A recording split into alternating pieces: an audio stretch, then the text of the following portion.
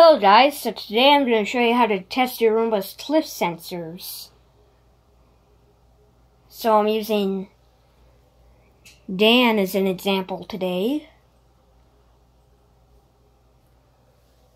So what you do is you're going is you go into your testing mode and excuse me for a minute while I put them in manual advance.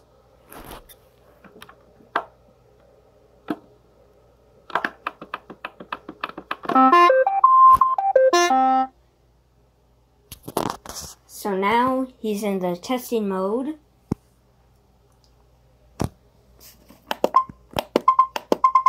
And I believe this test is the cliff sensors. So you take him off the floor for one side. And then spot lights up. That's the left. And Dock is the right side. So that's how the test is outer cliff sensors. Now let's move on to inner cliff sensors. So you lift them up off the floor. And that takes them into inner.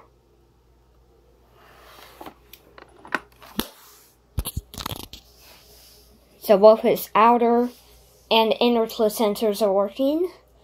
So for manual advance, to get out of it, you hold the clean button down to turn them off. And then he goes back into his normal mode.